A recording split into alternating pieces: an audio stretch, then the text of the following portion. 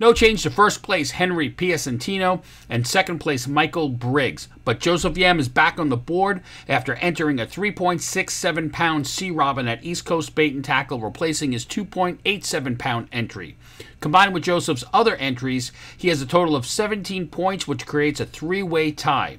Because of Yam's 15.55 pound bluefish is heavier than any of Garrett Weir's or Ahmed Soliman's fish entered, Joseph wins the tiebreaker. The Dream Boats Fishing Challenge is a fisherman subscriber only season long multi species fishing competition with a chance to win a 25 foot Steiger Craft Center console powered by Yamaha, along with many other great prizes. Subscribe now to the Fisherman Magazine to be part of all the action.